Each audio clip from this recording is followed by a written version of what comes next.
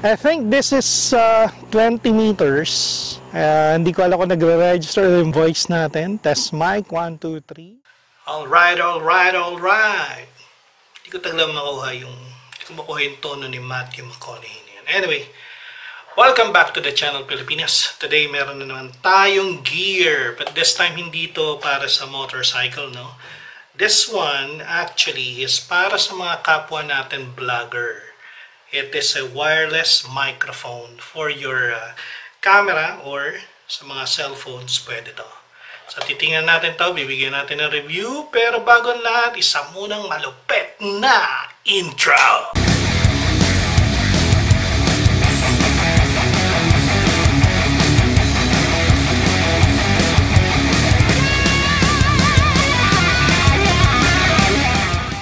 Okay Pilipinas, eto tayo ngayon sa ating bagong gear. Like I said, hindi ito para sa motorcycle, pero para sa mga kapwa natin vlogger. So I bought this online. This is a Boya uh, BY-WM4 Mark II. It is a wireless microphone.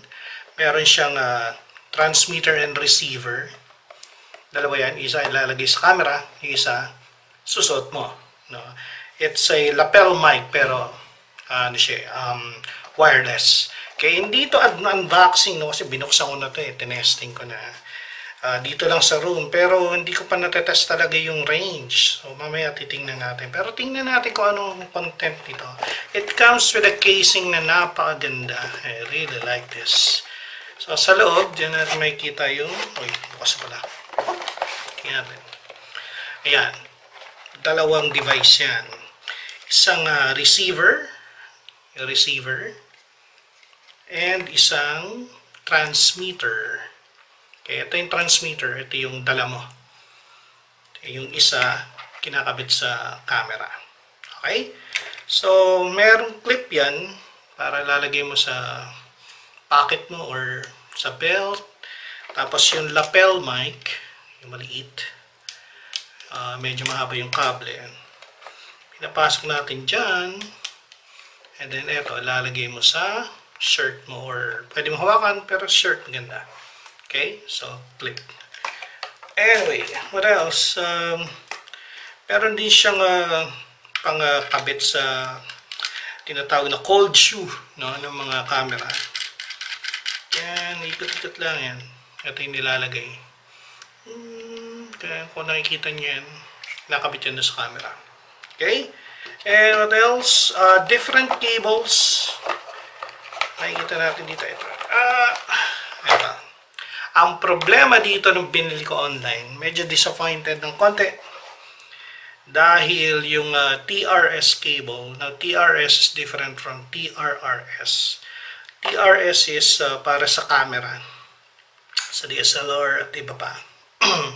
Sira yung stock. Buti na lang meron akong ibang cable na pwedeng gamitin. So, gumana pa rin yung device natin. What else do we have? Meron din siya para sa cellphone, sa mobile. Yung TRRS kasi, tatlo yung uh, lines dun sa mail plug. Okay, hindi ako technical pagdating dito, pero pag tatlo yan, para yan sa mga mobile, tablet, etc. Laptop yata, ganun. Pero yung connecting natin sa transmitter, ganun pa rin, dalawa yung line. Okay? Uh, bihira ko magagamit to kasi I'm always using uh, yung DSLR na camera ko. Okay? So, ang gagawin natin is maggagawa tayo ng field test. Uh, titingnan natin kung hanggang saan ang coverage ng transmitter at kung lumalabo na yung receiver uh, kung hanggang saan. It, uh, hindi siya kasama sa battery wala siyang kasamang battery. So, kailangan bumili ng AA battery. Okay? So, tara, testingin natin.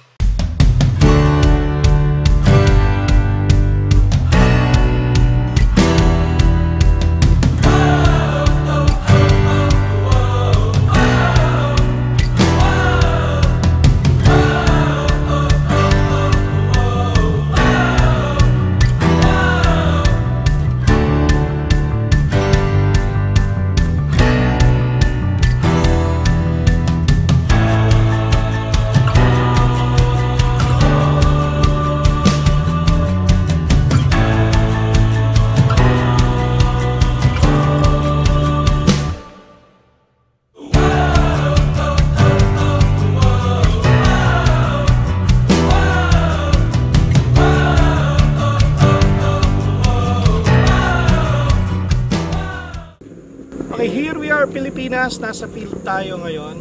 Now, you will probably hear vehicles sa microphone.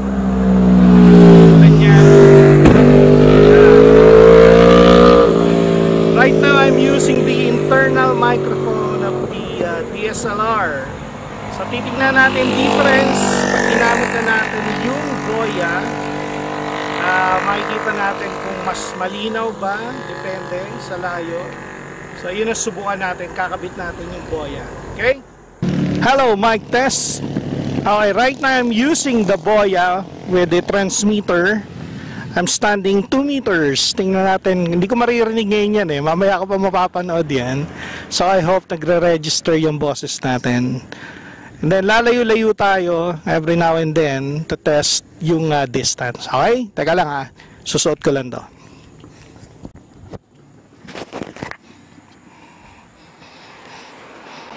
Alright.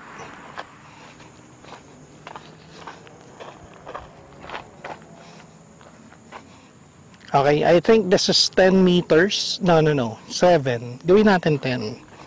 10 meters. And I don't know kung nagre-register pa rin yung boses ko. Uh, the lapel mic is on.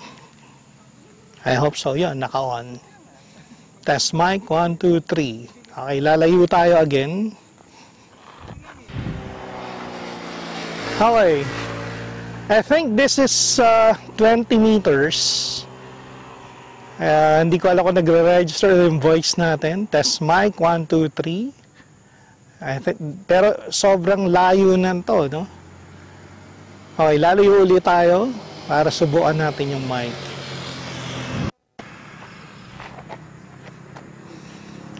Ayan. I think this is uh, 30 meters. So may mga background noise tayo galing sa motor, sa kotse, sa tricycle. Uh, tingnan natin kung magre-register yung mga noise using the lapel mic. And of course, lalayo pa rin tayo dun hanggang sa likod ng sa damuhan. Alright? Okay, let's do it. Wow, sobrang layo na nito. Ah, uh, I think this is uh, 40 meters. So, hindi ko alam kung nagre-register pa rin yung boses natin at kung may interference o lumalabo na yung receiver. So, hopefully hindi. And then, lalayo pa rin tayo hanggang sa likod ng damuhan. Okay, wait lang. oh no! Tingnan natin ha kung magkakaroon tayo dito ng interference. Potek. Bakat ito. Yan, nasa damuhan tayo ngayon. Holy shit. Ay, shit. Okay. Shit. Oh.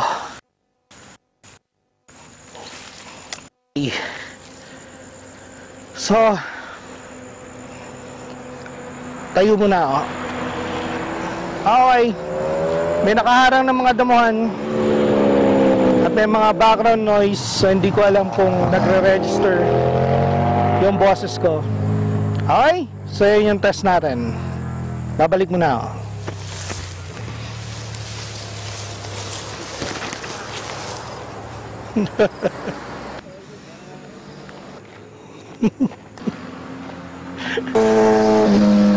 Alright. So ang uh, main purpose ng lapel mic natin is uh, for demo purposes at pag meron tayong ini-interview, yung boom microphone, uh, napipick up talaga lahat ng background noise. So I hope itong lapel mic, eh, magiging smooth yung uh, voice ng uh, speaker, syempre yung ini-interview natin. And of course, pag nagde-demo ka ng mga motorcycle, kahit lumayo ka, audible pa rin ang boses mo tulad nito uh, this is what uh, 4 to 5 meters with a background noise. So dapat mas audible yung speaker lang mismo yung nagsasalita no? doon natin magagamit tong microphone. Okay so that sets the field test. Then tingnan natin kung okay talaga siya pag uwi natin. Hopefully maganda ang pickup Okay, that's all folks. Sa demo ng ating Boya um, wireless microphone. Uh, maraming salamat nga pala kay Pengalush ng Las Marias Viajeras sa pagtulong sa akin dito sa pag-setup. And if you like this video, please hit like or subscribe and I'll see you again on the next adventure.